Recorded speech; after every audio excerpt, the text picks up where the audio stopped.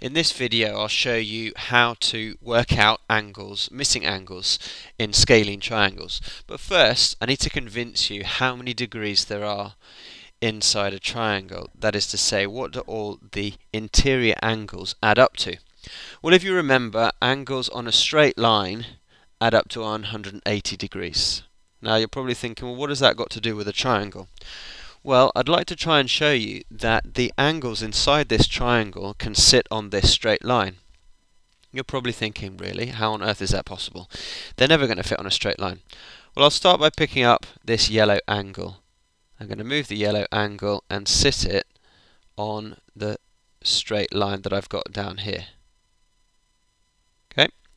Then I'll take the blue angle and move that next to the yellow one and keep it in a straight line along with the yellow one. And now this orange one, how is this going to fit in? This isn't going to work, is it? I thought I was supposed to be showing you how to get it onto a straight line. Aha. Well, if I take that angle and rotate it around and keep rotating until it fits into that gap. I wonder. Aha. Now I just need to line things up a bit better. You can see that the three angles inside the triangle now lie on a straight line. Okay, it's gone, it's, it needs moving back, but you, hopefully you'll believe me. Here's one I made earlier. There we go. The three angles sitting on a straight line, A, B and C.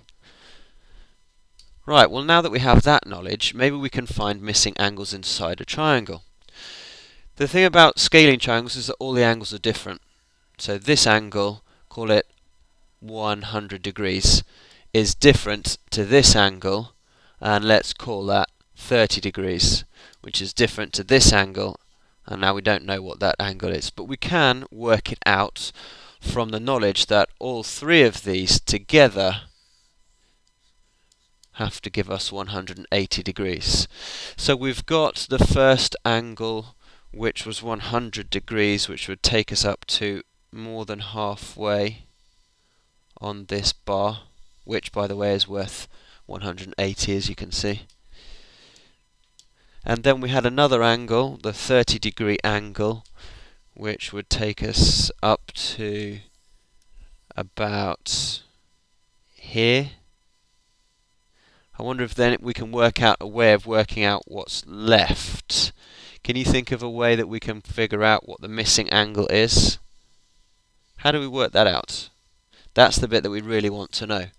We know that this is 100. We know that this is 30 but we're not sure what the rest is. Ah, it's now become obvious to me. The whole thing from here to here is 130 degrees. Can you see how I got that? I did 100 plus 30.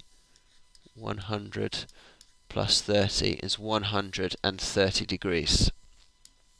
So that accounts for the angle up here and the angle over there, and then to work out the missing one, I must have to do 180 subtract 130 and that tells me what goes in here.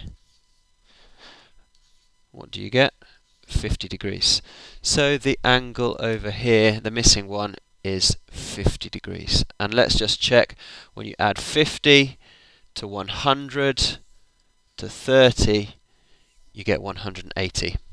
And that's how to find the missing angle in a scalene triangle. It works, of course, with missing angles in any triangle as long as you've got two of them.